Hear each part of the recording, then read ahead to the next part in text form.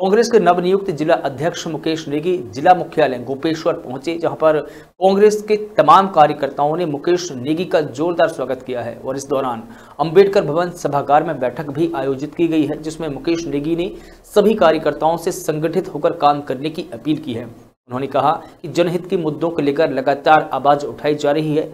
जिससे कार्यकर्ताओं का मनोबल भी बढ़ा है। साथ ही उन्होंने कहा कि केंद्रीय नेतृत्व ने जो मुझ पर आभार जताया है, मैं उस पर खरा उतरने का पूरा प्रयास करूँगा। चमोली से संदीप की रिपोर्ट।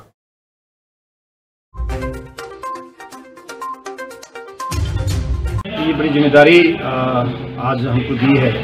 और निश्चित तौर पर ये कांग्रेस के लिए बहुत अनुकूल समय नहीं है।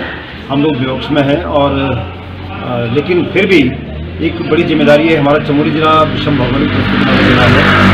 और दूर दराज गाँव तक हमारे कार्यकर्ता मौजूद हैं। लगातार जनहित से जुड़े मुद्दों को उठा करके कांग्रेस कार्यकर्ताओं का मनोबल ऊँचा करने का हम लोग काम कर रहे हैं।